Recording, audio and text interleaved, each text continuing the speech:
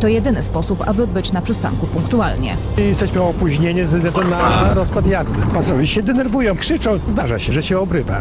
No ale sami widzą, że czerwone światło jest, to jak możemy jechać. Mówi jeden z motorniczych, rzecznik łódzkiego MPK Sebastian Grochale zapewnia, że rozumie rozgoryczenie prowadzących tramwaje. Oni są takimi cichymi bohaterami każdego dnia, dlatego że my jako pasażerowie nie zdajemy sobie z tego sprawy, ale oni starają się troszeczkę naginać tak, żeby tramwaje